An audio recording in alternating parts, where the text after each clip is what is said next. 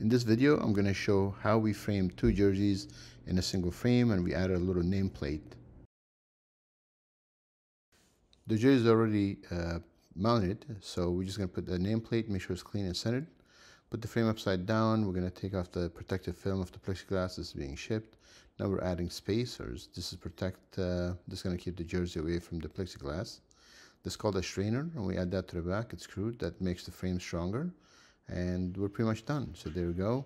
Uh, two jerseys, nameplate, and um, there you go.